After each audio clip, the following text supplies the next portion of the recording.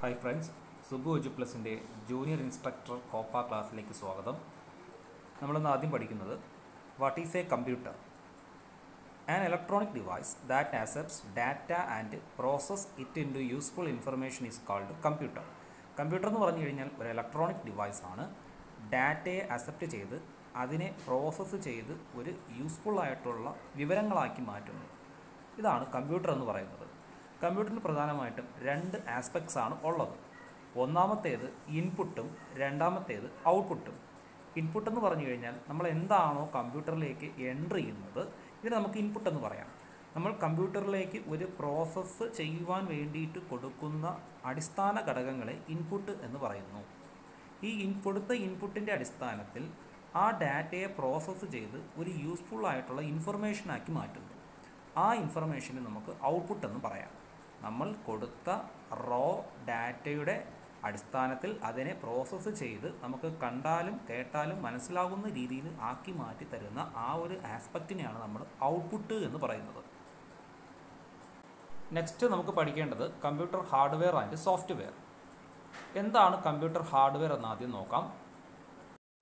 Computer hardware കമ്പ്യൂട്ടറിന്റെ physical കമ്പോണൻസിനെ നമുക്ക് ഹാർഡ്വെയർ എന്ന് പറയാം. നമുക്ക് തൊടുവാനും കാണുവാനും തൊട്ട് ഫീൽ ചെയ്യുവാനും കഴിയുന്ന ഡിവൈസുകളാണ് ഹാർഡ്വെയർ എന്ന് പറയുന്നത്. ഹാർഡ്വെയർ എന്ന് പറയുമ്പോൾ പ്രൈമറി ഇലക്ട്രോണിക് ഡിവൈസുകളാണ് കമ്പ്യൂട്ടറിനെ ഉണ്ടാക്കാനായിട്ട് അല്ലെങ്കിൽ ഒരു ഡാറ്റ പ്രോസസ്സിംഗ് സിസ്റ്റത്തിനെ നിർമ്മിച്ചെടുക്കുവാനായിട്ട് ഉപയോഗിച്ചിരിക്കുന്ന ഇലക്ട്രോണിക് ഡിവൈസുകളെയാണ് ഹാർഡ്വെയർ എന്ന് പറയുന്നത്. കമ്പ്യൂട്ടർ ഹാർഡ്വെയറിനകത്ത് ഒരുപാട് ഇന്റർ കണക്റ്റഡ് ഇലക്ട്രോണിക് ഡിവൈസസ് ഉണ്ട്. ഇവയെല്ലാമാണ് കമ്പ്യൂട്ടറിന്റെ ഓപ്പറേഷനെയും ഇൻപുട്ടിനെയും ഔട്ട്പുട്ടിനെയും ഒക്കെ കൺട്രോൾ ചെയ്യുന്നത്. പ്രധാനപ്പെട്ട കമ്പ്യൂട്ടർ ഹാർഡ്വെയർ എക്സാമ്പിളുകൾ എന്തൊക്കെയാണെന്ന് നോക്കാം. Mother board central processing unit മറ്റ് പെരിഫറലുകൾ.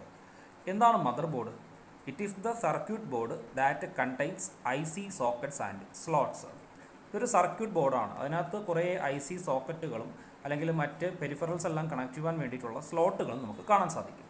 രണ്ടാമത്തേത് സെൻട്രൽ പ്രോസസ്സിംഗ് യൂണിറ്റ്. ഇത് കമ്പ്യൂട്ടറിന്റെ ഹൃദയം അല്ലെങ്കിൽ തലച്ചോറ് എന്ന് പറയാം. മൂന്നാമത്തേത് പെരിഫറൽ ഡിവൈസസ് അതായത് keyboard mouse monitor printer speaker അങ്ങനെയുള്ള ഉപകരണങ്ങൾ. നെക്സ്റ്റ് പഠിക്കേണ്ടത് computer software computer software is a programming code executed on a computer processor it is set of programs that can do particular work for the user the software simply is a collection of documentation instructions and procedures that are capable of performing different task on a computer system software എന്ന് പറഞ്ഞു കഴിഞ്ഞാൽ set of programmes ആണ്. അതായത് നമുക്കൊരു particular task ചെയ്യുവാൻ വേണ്ടിയിട്ട് ഉണ്ടാക്കി വച്ചിരിക്കുന്ന ഒരു കൂട്ടം പ്രോഗ്രാമുകളെ സോഫ്റ്റ്വെയർ എന്ന് പറയാം. ആക്ച്വലി സോഫ്റ്റ്വെയർ എന്ന് പറഞ്ഞു കഴിഞ്ഞാൽ collection of documentation instrument instructions and procedures എന്ന് നമുക്ക് എന്ത് ചെയ്യാം? പറയാം.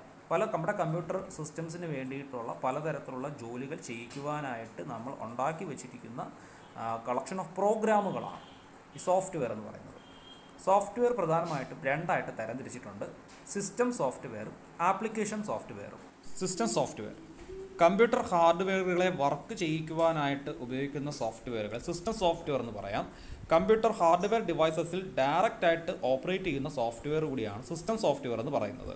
മറ്റ് ആപ്ലിക്കേഷൻ പ്രോഗ്രാമുകൾക്ക് റൺ ചെയ്യാൻ വേണ്ടുന്ന പ്ലാറ്റ്ഫോം കൊടുക്കുന്നതും സിസ്റ്റം സോഫ്റ്റ്വെയർ ആണ് കേട്ടോ. സിസ്റ്റം സോഫ്റ്റ്വെയറിലാണ് മറ്റ് പ്രോഗ്രാംസ് ഒക്കെ റൺ ചെയ്യുന്നത്. മാത്രമല്ല നമുക്ക് മറ്റു സോഫ്റ്റ്വെയറുകളെയും ഹാർഡ്വെയറുകളെയും ഒന്നുപോലെ സിസ്റ്റർ സോഫ്റ്റ്വെയർ ഉപയോഗിച്ച് നമുക്ക് കൺട്രോൾ ചെയ്യാനായിട്ട് സാധിക്കും.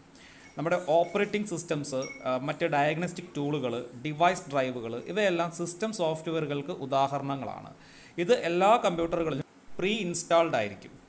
നമ്മുടെ ഓപ്പറേറ്റിംഗ് സിസ്റ്റംസ് ആയ വിൻഡോസ് ലിനക്സ് യുണിക്സ് ഇവയെല്ലാം സിസ്റ്റം സോഫ്റ്റ്വെയറുകൾക്ക് ഉദാഹരണങ്ങളാണ്. ദെൻ നെക്സ്റ്റ് പഠിക്കാൻ പോകുന്നത് ആപ്ലിക്കേഷൻ സോഫ്റ്റ്വെയർസ്. ആപ്ലിക്കേഷൻ സോഫ്റ്റ്വെയർ എന്ന് പറഞ്ഞു കഴിഞ്ഞാൽ ഒരു യൂസറിന്റെ ആവശ്യാനുസരണം അല്ലെങ്കിൽ ഒരു നിശ്ചിത ജോലി ചെയ്യുവാനായിട്ട് ഉണ്ടാക്കിയെടുത്തിരിക്കുന്ന സോഫ്റ്റ്വെയറുകളാണ് ആപ്ലിക്കേഷൻ സോഫ്റ്റ്വെയറുകൾ എന്ന് പറയുന്നത്. ഇപ്പോൾ നമുക്ക് പലതരത്തിലുള്ള ആവശ്യങ്ങളുണ്ട്. നമുക്കിപ്പോൾ ഡോക്യുമെന്റ് ഉണ്ടാക്കണം ഫോട്ടോസ് എഡിറ്റ് ചെയ്യണം.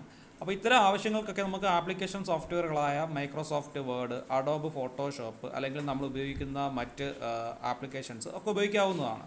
ഇപ്പോൾ ഇന്റർനെറ്റ് ആക്സസ് ചെയ്യാൻ നമുക്ക് വെബ് ബ്രൗസർ വേണം. ഇപ്പോൾ ഗൂഗിൾ ക്രോം മോസില്ല ഫയർഫോക്സ് വിവിധ തരം ട്രാൻസ്ലേറ്ററുകൾ ടെക്സ്റ്റ് എഡിറ്ററുകൾ ഇവയെല്ലാം ആപ്ലിക്കേഷൻ സോഫ്റ്റ്വെയറുകൾക്ക് ഉദാഹരണങ്ങളാണ്. Software is generally written or created in a high level programming language.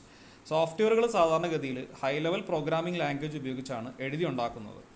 High level language എന്ന് പറഞ്ഞു കഴിഞ്ഞാൽ നമുക്ക് എല്ലാവർക്കും വായിച്ചാൽ മനസ്സിലാകുന്ന തരത്തിലുള്ള ലാംഗ്വേജ് ആണ് high level language.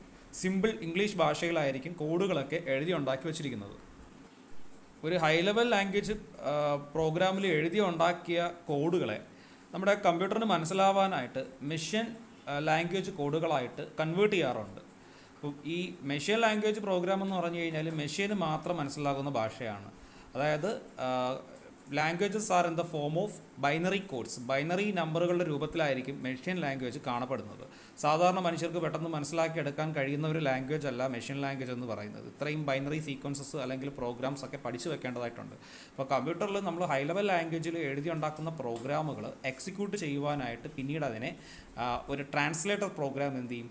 Machine language ആയിട്ട് കൺവേർട്ട് ചെയ്യും. അങ്ങനെ കൺവേർട്ട് ചെയ്തതിന് ശേഷമാണ് നമുക്ക് ഔട്ട്പുട്ട് കമ്പ്യൂട്ടർ എടുത്ത് തരുന്നത്. ക്ലാസ് ഇഷ്ടമായാൽ ലൈക്ക് ചെയ്യുക ഷെയർ ചെയ്യുക സബ്സ്ക്രൈബ് ചെയ്യുക. സബ്സ്ക്രൈബ് ചെയ്ത് അടുത്ത് കാണുന്ന ബെല്ലൈക്കൺ പ്രസ് ചെയ്യുക. സിലബസ് അനുസരിച്ചുള്ള ക്ലാസ്സുകൾ ഉടൻ തന്നെ ഈ ചാനലിൽ അപ്ലോഡ് ചെയ്യുന്നതാണ്.